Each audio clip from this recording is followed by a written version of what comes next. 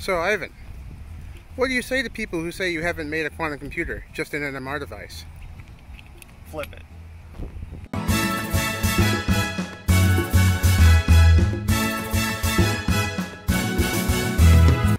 And we're back with quantum device number five. We've pulled out all the stops to get the ultimate sensitivity. I'm talking power rails, ground plane, coaxial cable, 6 volt battery pack, KitchenAid mixer. KitchenAid mixer? Wait a second. Live. We've got relay switches, aluminum sheathing on the core. Transceiver coil was cleanly rewound on an actual cable winder. We got twisted pair cables. 100 nanofarad and 10 nanofarad capacitors on all the power rail inputs. And a power supply fancier than my mother-in-law's wine fridge. Microcontroller has been replaced by a Raspberry Pi Pico, and the code base has been wholly rewritten. We're talking direct memory access. We got interrupts, ADCs, and a buffer. Each op amp layer is on its own board. That way, if something needs to be improved, I don't have to take apart the whole thing. I can just swap that board in and out. Similarly, the op amps are sitting on carrier inserts, which means um, if I need to swap them in and out, it's easy, and I can reuse them whenever I need to. It's more fun than 25 flies.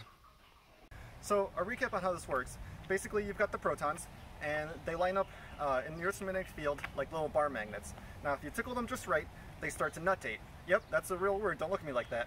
And so, like shadows on Plato's cave, we can see them flip back and forth between their zero and their one states. And then, um, by listening to them carefully, we can listen to that ensemble ring. So let's talk results. The thing you have to understand about experimental physics is that positive results are rarely obvious. If you've seen my LK99 video, you'll see that you always have to be on the lookout for, for false positives. False positives will gaslight you harder than that gaslighting joke I just told you. So in order to combat uh, false positives, we've designed this experiment with three different controls. So the first control is comparing the experiment done with an initialization pulse and the exact same experiment without an initialization pulse.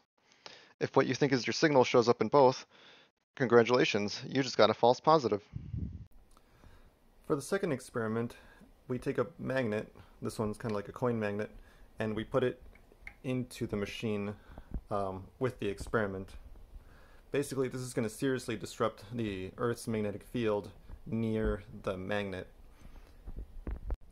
What this does is it causes protons near the magnet to oscillate much faster than the ones away from the magnet, which means that uh, they will no longer be oscillating together and the, the strength of the resonance won't be strong enough for us to pick up anything.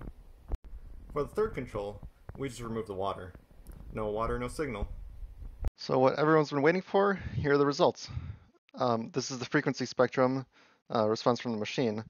Basically, you can see that um, for all of the experiments, you have some um, intrinsic noise in the machine. Um, and then, yeah, for no signal, magnet disruption, and no water, um, those all overlap. What makes me very optimistic about this signal right here in the middle is that it's not something that shows up in any of the controls. This is this only happens when all the conditions are right. Another nice thing is that the frequency is, if you can see in the corner, um, 2166, which corresponds uh, very closely to the magnetic field um, Larmor frequency where I live. So leave a comment below for anything else that you think I should put inside the quantum device and test it out. Um, and obviously, I'm not done milking this dead horse. So uh, subscribe if this sounds interesting to you. See you guys next time.